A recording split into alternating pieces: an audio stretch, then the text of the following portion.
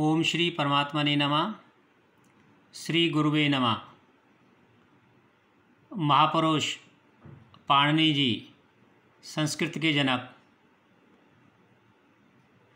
संस्कृत विश्व की प्रथम भाषा है। संस्कृत उत्तराखंड की आधिकारिक भाषा है। कर्नाटक के मुतूर गाँव में संस्कृत बोली जाती है। सुधर्मा संस्कृत का प्रथम समाचार पत्र था, जिसकी शुरुआत सन 1970 में हुई थी। जर्मनी के चौदह विश्वविद्यालय में संस्कृत पढ़ाई जाती है।